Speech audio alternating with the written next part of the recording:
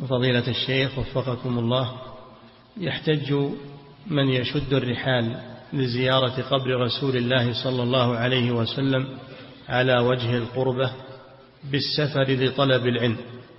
يقول فكيف الجواب على ذلك؟ السفر لطلب العلم هذا مطلوب فلولا نفر من كل فرقة منهم طائفة ليتفقهوا في الدين والسفر لزيارة قبر الرسول ليست لطلب الدين ليست لطلب العلم. ليست لطلب العلم. فهي وسيلة إلى الشرك. لذلك تمنع. نعم. فرق بين السفر لزيارة القبر قبر الرسول أو غيره وبين السفر لطلب العلم. نعم.